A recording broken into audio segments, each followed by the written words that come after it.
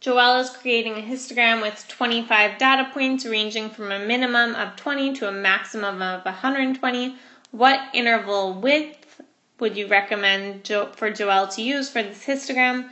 Well, if we're going from 20, oops, 20 to 120, I would recommend breaking this up into five intervals, um, especially because we have 25 data points. So we're um, going to break that up pretty evenly then.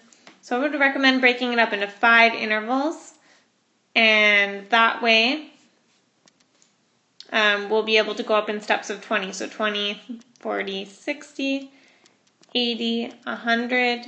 In steps of 20, um, because we break this up into five intervals, we had 20 to 120, and that has a range of 100. So the 100 divided by 5 gives me an interval width from one tick mark to the next, an interval width of 20. So each of these